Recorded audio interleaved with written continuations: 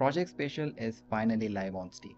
If you haven't heard about it yet, let me fill you in. Project Spatial is this amazing tool developed by Liv, the same folks who made it possible for us to create these awesome mixed reality videos. So this new app allows us to record spatial videos of our games. What are spatial videos?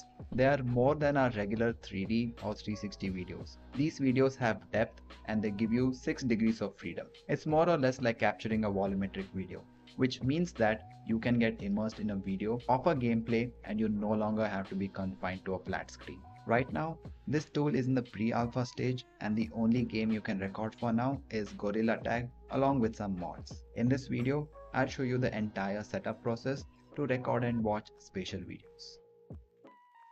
First, you need to install the Steam version of Gorilla Tag.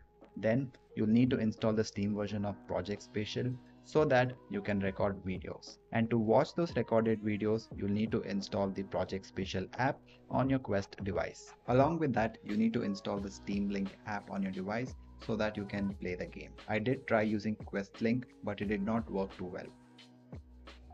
First, you'll need to download the latest version of Monkey Mod Manager and run the program. From this list, you'll have to install the BepInEx mod, which would have been selected by default.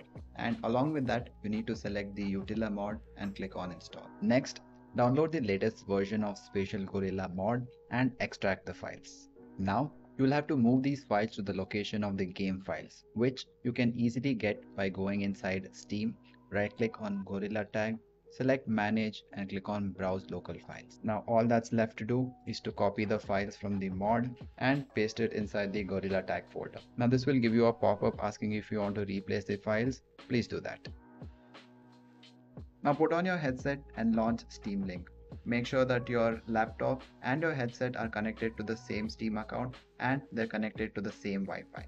And from here, you can launch Gorilla Tag. Next, on your PC, launch the Project Spatial app and put on your headset.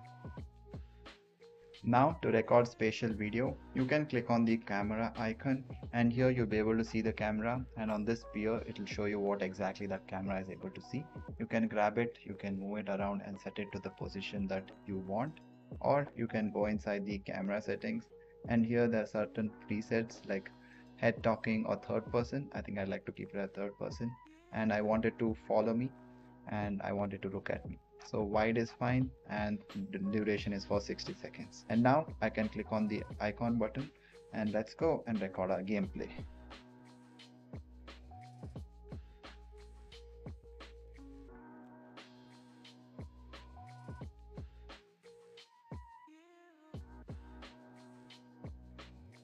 Now after 60 seconds it stops recording automatically and you can watch your video by going inside the gallery and playing it from here.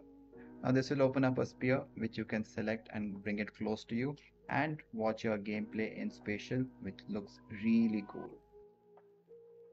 Now to watch this spatial video inside Quest independently, you can simply click on this icon to publish.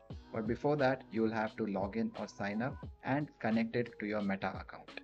Once you're signed in, you can choose your thumbnail, click on next, add a title to your video, click on next and then publish it. Once it's done publishing, you will get a notification that it's published successfully and then you can quit the application. Now inside your Meta headset, open the Project Spatial app. Acknowledge that this app might be buggy and in here you can select discover and here you'll be able to see your app which is called spatial video and once you select this it will open up the spatial player which you can grab and rotate resize and look around this looks really amazing you have the feature to change the orb as well so you can change it from a sphere to a rectangle or a cube and they look pretty cool. I would really love to have an option to share these videos with my friends and I'm pretty sure it will come along with the future updates and I cannot wait to see what other games are compatible with this.